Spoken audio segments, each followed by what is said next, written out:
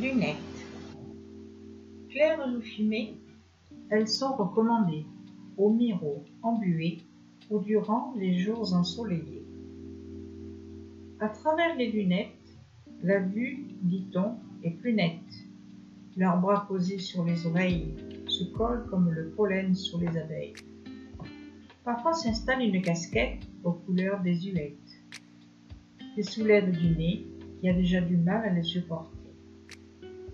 Le poids de la monture renforcée et la sueur en été les font glisser jusqu'au bout du nez. Les deux verres jumeaux se sentent très beaux.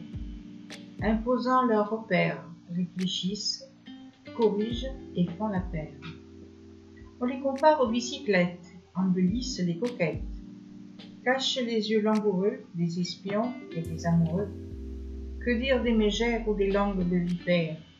Qui débitent des sonnettes derrière leurs lunettes Même le serpent, en son friand, se parle de ses artifices, serpente et glisse, tout comme le cobra de la famille Naja.